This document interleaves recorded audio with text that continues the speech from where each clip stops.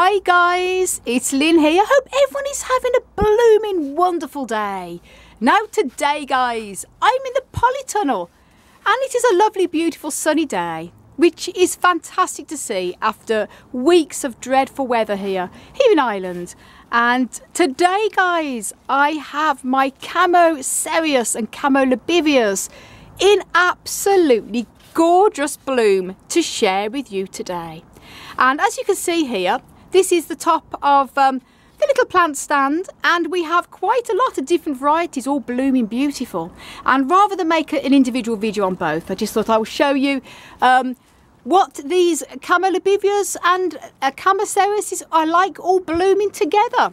As I say, we have both my camo Chamaelobivias and uh, yeah, Chamaelobivia and Chamaecereus um, in flower, and also my other Chamaecereus, two of them commonly known as the peanut cactus, blooming beautiful too, and also one of the Sulcorebutias over here. But first of all, I'm going to focus on the two Chamaecereuses, and these are absolutely breathtaking, guys.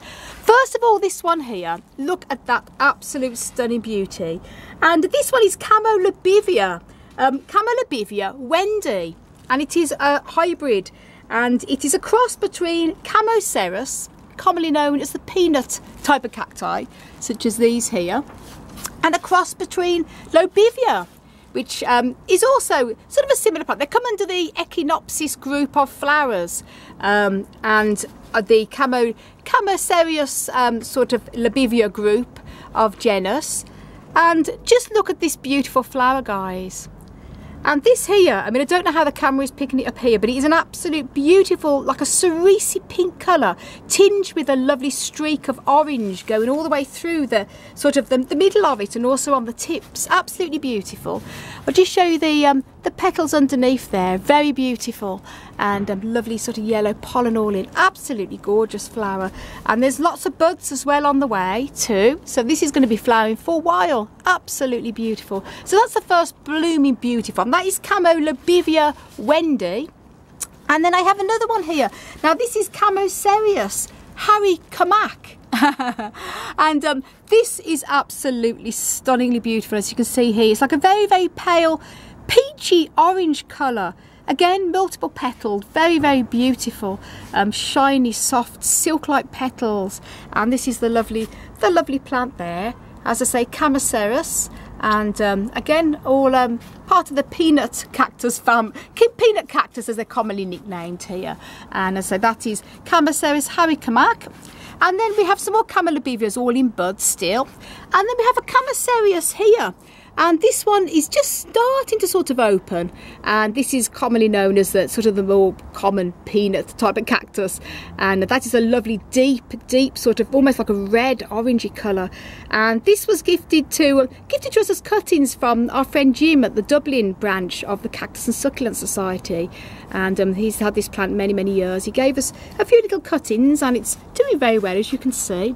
And then this is a Sulcorebutia not um, obviously um, part of this um, the same genus here but just want to share that with you as well. I have made a separate video on this beauty.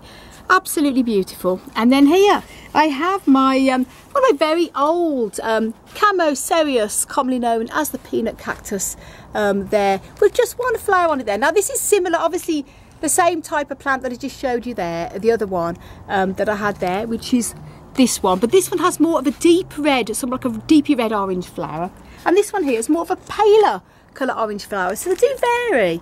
And um, as you can see, lots of multiple scents. Had this one a long time. And this one is one I've had for a very, very, very long time. One of the very first cacti I ever had when I was 12 years old.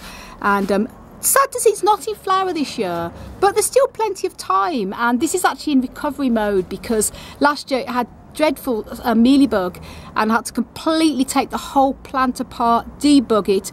And I'm happy to say there's no sign of mealybug um, this year at all. So I think a lot of the energy is all going to the roots because it had to had to treat the whole plant as cuttings. So hopefully that should recover. And that's it guys. So I hope you like to see what's blooming beautiful in the polytunnel today.